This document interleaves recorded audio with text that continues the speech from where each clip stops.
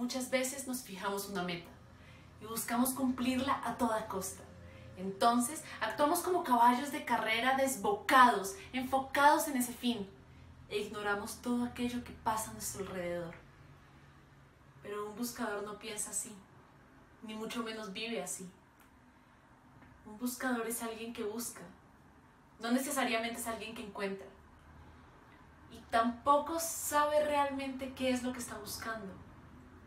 Simplemente para quien su vida es una búsqueda y un buscador se encontraba en el balcón de su casa contemplando el amanecer, cuando de repente sintió que debía ir hacia la ciudad de Camir.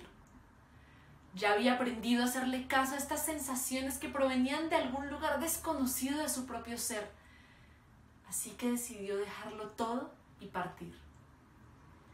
Después de caminar por dos largos días, bajo el radiante sol, por caminos polvorientos, sintiendo el cuerpo cansado y las piernas pesadas. Logró divisar a lo lejos la ciudad de Camir. Una satisfacción recorrió todo su cuerpo al saber que ya estaba muy cerca de su destino.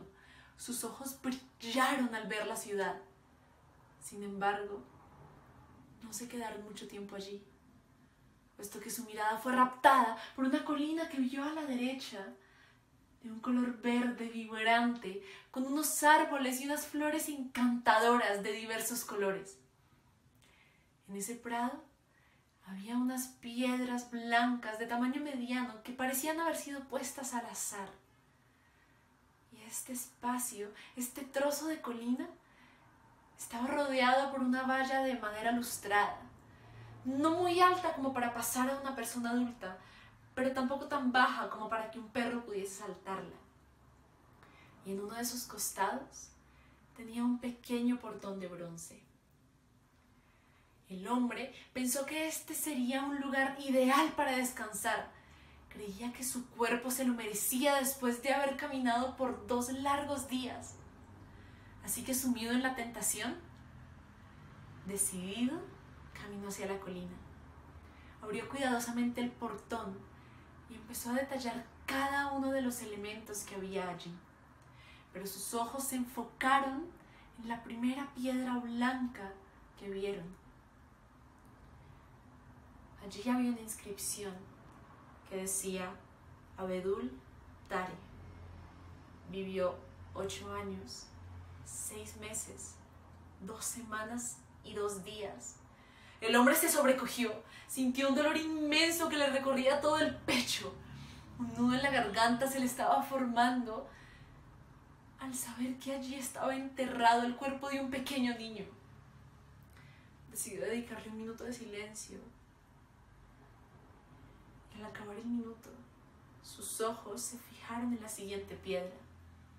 En esta piedra había una inscripción similar. La Mar Khalid. Vivió cinco años, un mes y una semana. El dolor del pecho se hacía cada vez más grande. El nudo en la garganta se hacía más insoportable. Sintió un dolor intenso y también le dedicó un minuto de silencio a este pequeño niño. Empezó a recorrer todo el prado y se dio cuenta de que todas las piedras tenían inscripciones similares lo recorrió el verdadero espanto cuando se dio cuenta de que la persona que más tiempo había vivido apenas sobrepasaba los 11 años de edad. El nudo en la garganta ya no era posible contenerlo, así que rompió en llanto. Y este espacio que antes había sido destinado por él mismo para el descanso, fue un lugar de dolor, de lágrimas, de sollozos, de suspiros después de estar un largo rato en cuclillas, sintiendo el dolor por todos estos niños, escuchó la voz de alguien más. Era el cuidador del cementerio, quien se acercó y le preguntó si lloraba por algún familiar. No, ningún familiar, dijo el buscador. Lo que sucede es que me pregunto, ¿Qué pasa en este pueblo? ¿Qué es lo que hay en esta ciudad? ¿Qué clase de maldición tan terrible ha caído sobre esta gente para que le haya obligado a construir un cementerio de niños?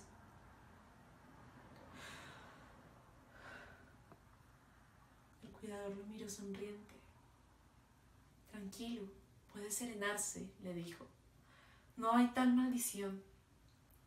Lo que sucede es que aquí tenemos una costumbre de hace tiempos. Le contaré. Cuando una persona cumple sus 15 años, sus padres le regalan una pequeña libreta, como esta que tengo colgada al cuello. Y allí debe escribir todos los momentos que viva con mayor intensidad a lo largo de toda su vida.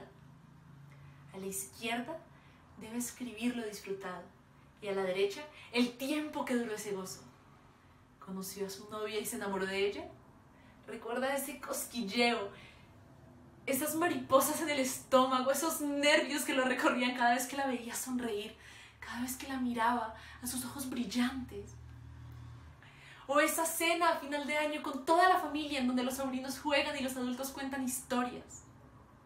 O ese viaje inesperado con amigos en donde se crean recuerdos inolvidables.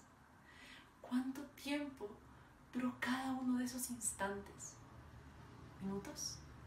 ¿Horas? ¿Días? ¿Meses? ¿Semanas? De tal forma que vamos acumulando todos estos recuerdos tan valiosos para nosotros, que cuando alguien muere, es nuestra costumbre sumar todos estos momentos y escribirlos en la lápida del muerto porque para nosotros ese es el único y verdadero tiempo vivido. El buscador de Jorge Bucay.